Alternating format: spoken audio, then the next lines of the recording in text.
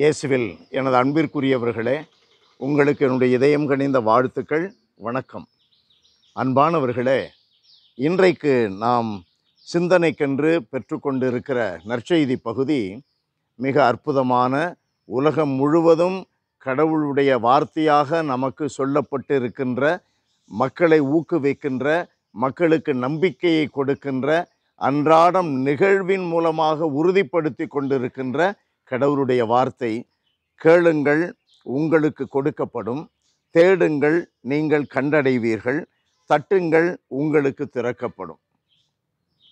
ஆண்டவர் இயேசுவினுடைய இந்த வார்த்தைகளை தான் மனதிலே தாங்கிய வண்ணமாக திருத்தலங்களிலே கோவில்களிலே பல ஆயிரக்கணக்கான மக்கள் தினம்தோறும் கூடுகிறார்கள். அன்பானவர்களே கடவுளிடம் கேட்டால் கிடைக்கும் என்ற அந்த வார்த்தையின் மீது கொண்டிருக்கிற நம்பிக்கை மக்களை இன்றைக்கும் என்றென்றைக்கும் ஊக்குவித்து வழிநடத்தும். காரணம் அது நிகழ்கிறது. அது நிறைவேறி உள்ளது. ஒவ்வொரு நாளும் ஒவ்வொருவருக்கும் நிறைவேறுகிறது. சில வேளைகளில் இவர்கள் கேட்பது கையளவாக இருக்கும். கடவுள் உடனடியாக கொடுக்க மாட்டார். மாறாக அது மலையளவு கிடைக்கும்படி அவர் நேரத்திற்காக காத்திருக்கிறார். அதை சிலர் புரிந்து கொள்வது இல்லை அன்பானவர்களே இன்றைய நற்செய்தி பகுதியிலே ஒரு விளக்கத்தை இயேசு ஆண்டவரே கொடுக்கிறார். தீயவர்களாகிய நீங்களே உங்கள் பிள்ளைகளுக்கு நற்கொடைகள் அளிக்க அறிந்திருக்கிறீர்கள். அப்படியானால் விண்ணுலகில் உள்ள உங்கள் தந்தை தம்மிடம் கேட்பவருக்கு இன்னும் மிகுதியாக நன்மை அளிப்பார் அல்லவா? அன்பானவர்களே கடவுளிடம் கேட்டது கிடைக்காமல் போகாது. கடவுளிடம் நம்பிக்கை வைத்தவர்கள் கெட்டுப் போவதில்லை. கடவுளை தேடுபவர்களுக்கு அவர் எப்பொழுதும் கண்டடையக்கூடியவராக இருக்கிறார். இவைகளெல்லாம் நாம் கண்டறிகின்ற உண்மை. வரலாற்று உண்மை மறைநூலில் கண்டறிகின்ற உண்மை நம்முடைய அனுபவத்திலே காணுகின்ற உண்மை.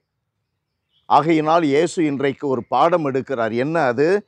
ஆகையால் பிறர் உங்களுக்கு செய்ய வேண்டும் என விரும்புகிறவற்றையெல்லாம் நீங்களும் அவர்களுக்கு செய்யுங்கள். இறைவாக்குகளும் திருச்சட்டமும் கூறுவது இதுவே. அன்பானவர்களே நாம் கடவுளிடமிருந்து பெற்றுக்கொள்ளுகிறோம் என்றால் நம்மிடம் கேட்பவர்கள் நம்மிடமிருந்து எதிர்பார்ப்பவர்களுக்கும் நாம் கொடுக்க வேண்டும். முதன்மையாக கடவுளிடமிருந்து பெற்றுக்கொள்வது என்ன? அன்பு.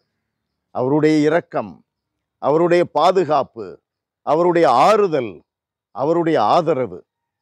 நாம் மட்டும் பெற்றால் போதுமா? பெற்றதை இந்த வையகத்திலே மற்றவர்களோடு பகிர்ந்து கொள்ள வேண்டும்.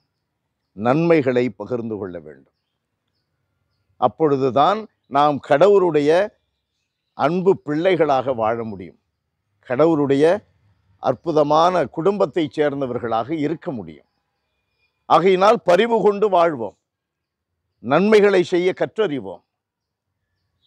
அன்பு நிறைந்த எங்கள் இறைவா உம்மை போற்றி புகழுகிறோம். வாழ்த்தி வணங்குகிறோம். தாழ்மையுடன் உம்மை ஆராதிக்கிறோம்.